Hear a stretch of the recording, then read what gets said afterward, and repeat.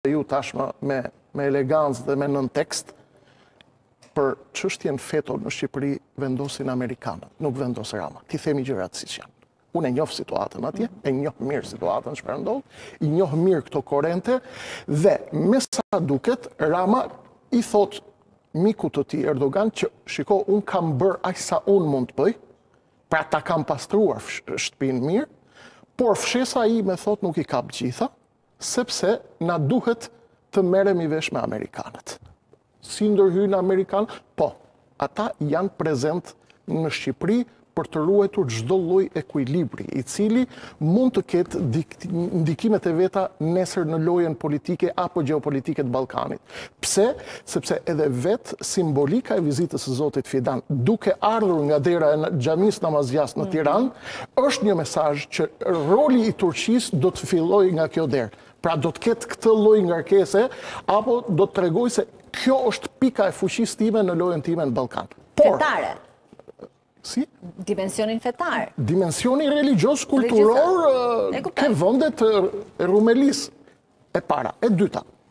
Duhet të kuptojmë një gjë shumë të rëndësishme. Përpara se të vijë këtu, Zoti Hakan Fidan ka patur një takim të rëndësishëm me zonjën Victoria Nuland, zëvendëssekretarja amerikane e shtetit, e cila ka qenë në Ankara, është takuar me zotin Fidan, përpara saj ka qenë zoti David Cameron, i cili ka patur gjithashtu takime shumë të rëndësishme, dhe po para 28 orësh kemi një ftesë thirrje nga Kryeministria e Turqisë për Ministrin e Mbrojtjes së Kosovës për të ardhur në Ankara.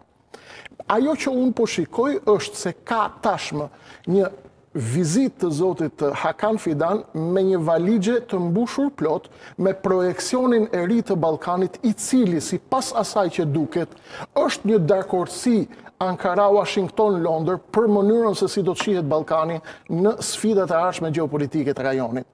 Unë shikoj që ardhja e Zotit Fidan me këto tone dhe me këto me këtë stil të të folurit menjëherë pas takimit me Amerikanët dhe me Britanikët në Ankara tregon që Turqit nuk është se nuk e kanë ditur se ku qëndron halli i Ramës lidhur me feton. Mhm. Ata e kanë ditur që këtë çështje duhet ta zgjidhin në Washington. Me sa duket, me sa po kuptohet, deri tani, Amerikanët janë të kujdesshëm që të trajtojnë me kujdes Turqinë dhe t'i japin asaj diçka prej asaj që kërkon, por në të njëjtën kohë pa i dhënë mundësinë zotit Erdogan që të jetë i plotfuqishëm dhe të kontrollojë gjithçka.